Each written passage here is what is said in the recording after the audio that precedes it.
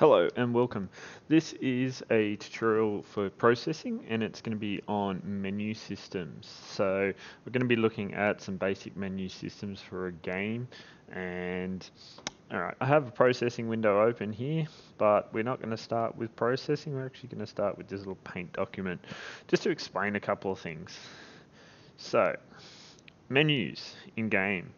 So main menu, that's the one we always see when we load into the game and it's probably the most important menu there is because it stems out to every other menu and into the gameplay. So second thing we might have on the page is gameplay or a start button or something like that and that's where we can actually start the game from and in this, we're not just talking about menu systems, we're also talking about game states. Menu systems and game states are slightly different, but we're going to go into that. But in the code, they don't always look that different. Um, something else you might have is settings and controls, how to play the game, that sort of stuff, settings, change, um, sound, graphics, uh, your controls, and that sort of thing. And usually there's an end game um, so when you die, character finishes, you get a score and all that sort of stuff, and may prompt you to go back to the main menu. Um, some games have levels, so you might hit start game and it goes to a level selector. Um, and then there are a few little hidden extra things like resets and hidden menus that happen automatically when you click on certain things. Um, or we might even have a menu system inside one of our menu systems. So in gameplay, we might have pause and settings that we can access from within the game that are a game menu. But you might be saying, okay, gameplay isn't a menu. No, it's not exactly a menu. It's more of a game state. And menus and game states, yeah, they, they are similar. Menus are a way of navigating around to get to certain areas inside your game. Um, and then game states is how the game is running where are you actually in the game? So you might be on the main menu screen and you might be using a menu system inside that menu screen. But then inside the actual when you hit play you might be actually running the game. But that on its own needs to have its own state that it's in. Um, and a pretty good example of this is in a previous project that we did. We did uh, dodgeball and just drag it over here. So this is the main menu. It's got one button on it, start. This goes to the game state of the gameplay. And yeah, it, it makes sure that nothing else runs in the background. So we could play this game, muck around, do that. And when we hit one of these circles, that changes us to another game state, which is the end game state, which has its own menu system of reset and um, yeah, that allows us to go back to the main menu. So that one doesn't have too many um, game states or menus as well, um, but it does have a couple. That did have a main menu. It had some button functionality to go to the game state, which is of the running game, and then it had a game state at the end, which was the score with another menu system to go back to the beginning. So we're going to look at what that looks like in processing because they're going to look very similar. The game state, the menu systems are going to look very, very similar. So in a previous video, which I'll probably link in the description, we did a button class. And what I'm going to do is I'm just going to take it straight out of my uh, dodgeball game, the button class. So I'm going to copy it over. So copying code, code that you've already created is a really great way, and I'm just going to bump my size of my uh,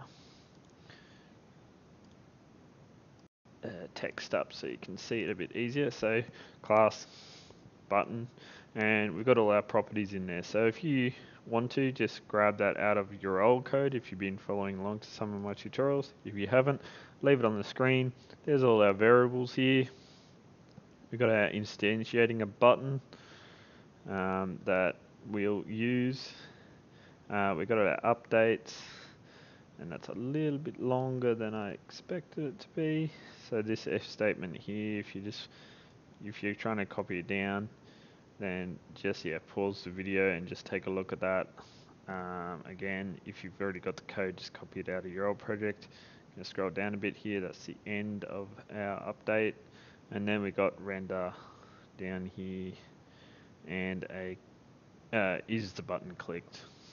Uh, boolean statement, just a, a, function to check to see if the button has been clicked down the bottom here. Alright, so that's our button class. And we're just going to go back to our menu. So we set it up in the same way we always do. Void setup.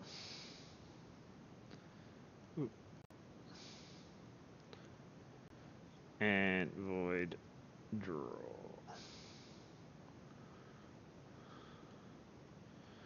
Alright, so we need the same sort of stuff we always do. We need size of our window. I'm going to make mine 600 by 600. And that's about all we're going to put in there. We need a background in here. And we're just going to make it a nice grey colour. Alright, so from here, now we need to create menu system. And if you have done some of my other work, then you'll notice that uh, we have user menu system, but we haven't really talked about them. So I, my menu systems that I create, I use a switch statement. Now, a switch statement looks something like this. I'm just going to write down my switch statement. And I'm just going to leave that blank for a second. And has brackets around it. Now, in my switch statement. My switch statement needs a variable. It can be an integer, a float, um, it could be a string if you want it to be. Um, I usually use integers just because they're the simplest form of a variable and uh, they don't take up too much space. It's pretty quick to access, all that sort of stuff. And so I'm going to set at the top of my program, I'm going to set up an integer for um, let's call it uh, menu. It's equal to zero. And usually my zero menu is my main menu. So I'm going to put in here menu. In my switch, I'm going to put menu. So now it's accessing menu and at the moment it sets to zero. So what do I need to do now? I need to set up some cases to say if it's a number, do this. If it's a different number, do this. If it's a different number, do this. And that's how we're going to go with um, creating our menus slash game states. Alright, so we can go case, and we're going to put our first number, which was 0, and then it's a col full colon, and then we're going to have a bracket, bracket, and a break. And I like to put my break on the same line as my closing bracket. Just just makes it nice and neat and says between there and there that's one case. So case to break, that's one of my cases and this one is zero. Alright, so we might want another case. Say we have another case and we're going to make that one. Okay, we've got two cases. We've got two cases. Alright, so now there is a default case, we'll get into that a bit later, but at the moment we're just going to leave default case alone because we've only got two cases and we don't, we're not necessarily going to accidentally jump out of our case statement yet. Now, at the top of the program, I always like to put under my integer, um, we're going to put a comment, and this is how you do a bigger comment, and we're going to go case 0 is menu or main menu. Okay. And case one is, uh, let's go gameplay. Or maybe in this case it's going to be show box. Oop, what did I do there? Think I just hit a button. Show box. Alright, so main menu and show box. Alright, so I guess in our main menu we need to put some code now. So everything that we if we run the program at the moment, it'd just come up blank because we haven't put anything inside our cases. But what it would show now is if I put um, some text in here that just says hello world. And we just set a nice little position there. And then I said text box. And we put some uh, 50 50 what do you think is going to happen? When I run this code what do you think is going to happen? As long as it doesn't error out hopefully you think it should write hello world and box will it write both of them. Let's have a look see what happens. Alright. It wrote hello world. But it didn't write box. Why didn't it write box? So it didn't write box because in our switch statement, it's looking at menu and saying what's menu equal to. And at the moment, menu is equal to zero. So it's only picking up the case that has the same value, so zero. And the only thing we've got written in here is text hello world. So that's why it's only reading text hello world in the top corner. I'm just going to add a little bit of um, text size just so you can read it a little bit easier. There we go. Let's just rerun that. Alright, there we go. Hello. And it's only showing that up because case is equal to uh, the menu, that variable menu is equal to 0, and our case 0 has that written in it. If I was to change my menu to 1 and run it again, it should say box and it's also positioned at point 50 50 on the screen so that just shows the most basic concept of a menu system now how do we navigate between these two and this is where our button class comes into play we created a button class so that we can change between the two game states all right so let's let's go create a button. At the top here, I'm just going to create a button. Uh, did I put a capital B on it? Yes, I did.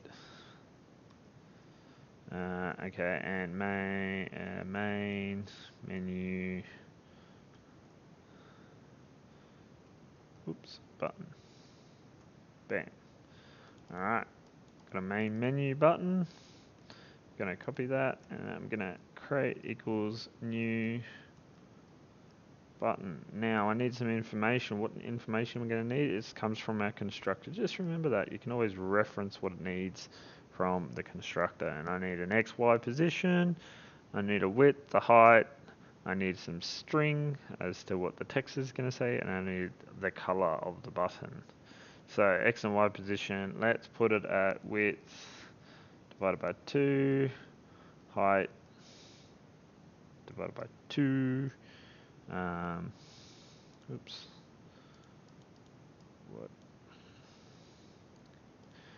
Make sure you can spell. Um, now, what do we need next? We need our width and our height. Alright, so let's go 100 by 100. Oh, we don't need that. Let's go 80. Uh, we're going to go with, what's the text going to say? We're going to say, um, show box. Now, is that the right way to write text? No, it's not. We need our brackets around it, or our quotation marks, I should say. Uh, what else do we need? We need some colors now. Uh, let's pick a nice color. You can tell me what that color is before I hit the program. You're doing pretty well red, green, and blue. So lots of red, lots of blue. Might come out a bit purplish color. All right. So we've got created our button, but have we uh, instantiated this? We've instantiated this button, but we have we updated and rendered this button? No, we haven't. Now we only want this button to show up in the main menu. So which case is our main menu? Our main menu case is zero. So we're going to copy that. And we're going to put it in here and we're going to go dot up uh, update and we're going to go dot render. And that should update and render our button when we show the menu. At the moment, what have we got selected though? We've got box selected because our main integer is starting at 1. We needed to start at 0. And here we go. I was right, it's purple. Alright, and it doesn't do anything at the moment. It just shows us this. Doesn't doesn't give as much. Alright. But we have a button in here. So now what do we need to do to get our button to actually change to the next case? We need to let's have a look in our button class. We need to is it clicked? And that's our function here. We need to see if we clicked on our button. Because if we did that, we want it to change to the next state. So, uh, control paste up there dot is clicked. Now, what do we need to put this inside? An if statement. So we're going to say if this is clicked, that's going to turn true or false. Do something. And we need to open closing brackets. So if that's clicked, that returns, is clicked returns either true or false. If it's true, we want it to do something. If it's false, we don't. What do we want it to do if we if the button has been clicked? Think about that for a second. We want to change our variable for menu equal to 1 because we want to go to the next state. So we're going to change the value of menu and hopefully that means box will come up as text. Let's have a little look at that and see what happens. Alright, here we go. Show box. Box, excellent. And we can't go back because there's no more button there because it's not rendering that button anymore because that button was in the uh, main menu case, which was case 0. Our menu is set to 1 now, so it's gone to our next menu, which is box. Alright, so if we wanted to go back, all we'd have to create is another button. I'm just going to copy this text and create new button, but I'm going to call it something different. I need to copy it up here as well. Bam, and see they can't be the same name, so I'm going to go box button. Uh, box button, and we can't so show box. We're going to go. Uh, we're going to go back to back to main, and we're going to set it to the bottom of the screen minus 50 off the bottom of the screen. And we're going to have that box only 50 so it touches the bottom of the screen. I don't like it usually touching so I go 80 up and 70 there. And so we've instantiated our new box. Let's grab that copy it so we don't have to rewrite stuff because programmers are lazy and we like to copy dot render putting now I'm putting this inside the case one, which our which is our box case. So we're going to do that, and we're going to do dot update. Bam. And the final thing we need to do, uh, let's just run that, see if that works. So we start out in zero case, which is our main menu. Should probably move that hello world across. Show box, and oh, there we go. Box is popping up, and we've got a button down the bottom down here, but we can't click on it at the moment because we haven't set up our if statement yet. Uh, it says back to main, and as you can see, the text goes wider than the box, so we probably should change that too. So we're just going to change a couple little things. We're just going to push this across a little bit, maybe not that much, 120, and we're going to make our box a bit wider at 150. Just remember, it's X, Y, width, height, the name of our box and then the color of our box. We might change that too to something a bit different. Yep, different color box. And what's the last thing we need to do in our case? Oh, we don't have a new statement yet. We're going to go box underscore button. And then we're going to go dot is clicked. Asking a question about if statement. And you guys spell clicked right. And we want our menu to go back equal to zero. Alright so that'll hopefully push it back to the main menu. Let's run that and see what happens. So we've got hello world we can see that now. Show box bang show box. Oh we got a nice lovely green button down the bottom here to go back. And as you can see we can bounce between our two menus. Alright that's looking pretty good at the moment. So what's the final thing we're going to look at? We're going to look at just the default for a switch statement as well. So as I was saying um, somewhere in the middle of this video that at the moment we've just got two cases and it's pretty hard to get lost in our cases. Um, we, we've got case 0 and case 1 and um, our button just goes to case 1 and it goes back to case 0. But what happens if I go to case 3? Um, this, this sounds like a really bad idea. We only got case 0 and case 1. Just skipping 2, we're going to go straight to 3. So if I run this program now, goes hello world, perfect, show box, click on that, shows the box, click on that, goes blank. We got nothing. Alright, didn't crash the program, but just got nothing.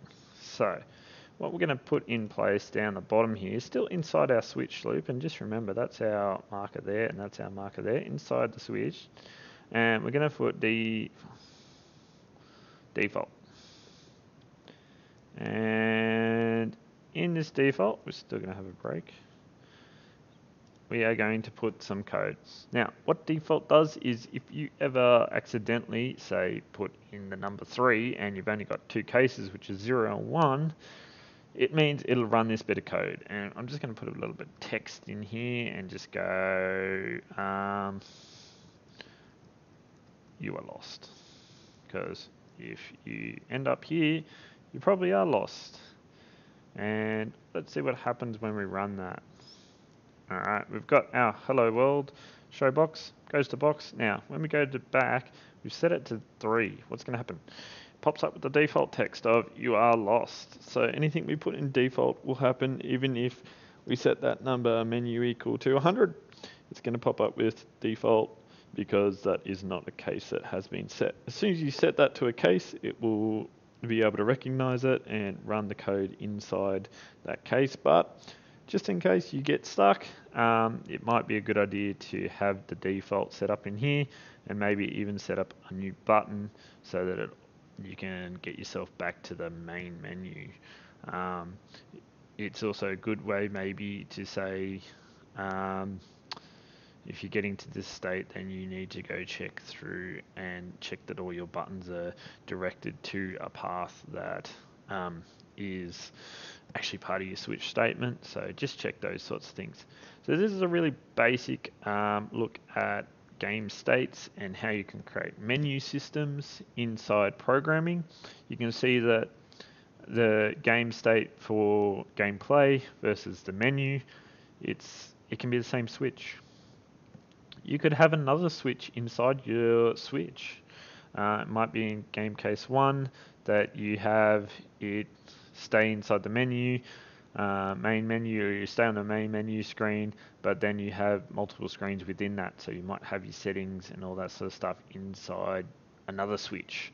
You could just write inside here, you could write switch, and then have another switch which is menu state uh, states, which could be another variable, and you could have a whole another set of cases. And you could have another case, it's called case zero, because you're inside a new switch statement inside your switch statement.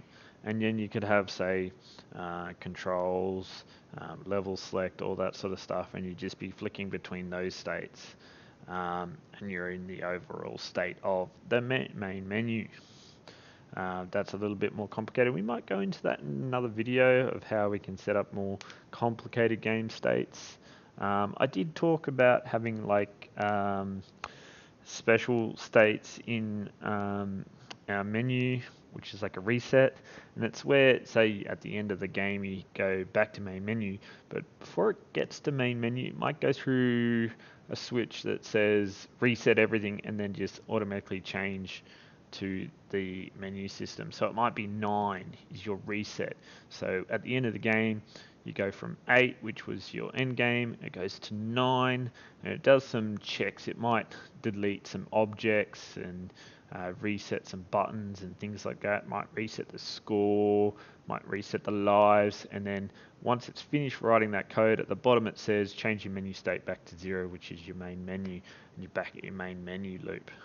Um, so resets are kind of useful in just hiding some of the stuff in the background, but having it separated from everything else. And you might want to, um, you might have it at the end of the game, you've won the game, and you go to reset to reset everything. Or when you die, it goes to that one as well. So multiple paths could lead to a reset, or and multiple places might lead to the main menu. You might, you know, if you go into controls, you're going to go back to the main menu. But if you're in game and you pause the game, then you can click to go back to the main menu. So there might be multiple paths that you can take to get back to the main menu. And it's sometimes good to map those sorts of things out if you've got a complicated uh, menu system and lots of different game states. It might be a good idea to write that down even on a piece of paper or draw a map on the computer and have little lines going everywhere to what part. And you can even see that I've drawn some lines on here in gameplay. Goes to pause, goes to setting. I might have pause, can go back to main menu. Uh, might have end game going down to here, and then reset going back all the way up to main menu. Uh, this might be part of this. Main menu might be able to go here and here and as you can see it might start to get a little complicated and this might be able to go back and forth between two states um, and as you can see I'm putting arrows on here to make it easier for me to read what my menu system might be doing and as you can see gameplay you might pause and then go back to gameplay you might come out of uh, settings and go back into pause and that sort of thing. So you might have to make up a little map of your menu systems and game comes down to here. Level select might be coming up the main menu, coming into here. Level select might mean you go back to, oh, now we're running out of spaces to put arrows. Might go to gameplay, or it might just go back to up in here again. So as you can see, it started getting very complicated even with just a couple little menu systems here I've got on my screen. Uh, but yeah, so map out your menu systems, play around with um, your, your, switch statements, get them working. Um, obviously, if you've got any errors, your code won't work. So I'll just put my integer up here. Uh, what, what did I call that variable? Menu states and I'll just chuck that up in there it equals zero so you know and I might have that state and it, it, if it's part of that state it's like uh, we might put text it might be like oh first time time you know that that text me want want to display near, near the bottom of the screen. So height uh, minus 100 and you know the first time you run the game it might come up as okay so now we've got a state that says it in there. And then or another case. We're getting a little off track but I just want to show you that you could have a switch inside a switch. And this could be uh, second time. And if we had a method of changing that so it might be second time might be when you complete the game it comes up with an extra little thing. And you know it might run at this time and it doesn't pop up because I didn't change my game state. Or I did to 2 but I changed that see that I should have put a default on uh, but I didn't. And so it should be 1 and there we go it's coming up with the second time so that's a game state inside a game state of a menu system so it can get a little bit complicated so play around with it come up with a menu system if you're creating a game at the moment. Um, yeah, menus are really important. They're, they make it easy for people to navigate, and there is a lot of there is a lot of um, planning involved in making a menu system that's effective. It's easy to navigate. People know where to go, what to do, and how to do it, and make sure it also works within your code of getting you uh, set up or making sure that you finish off states and things like that. So I'm going to leave that video here at the 30 minute mark and um, I look forward to the next video.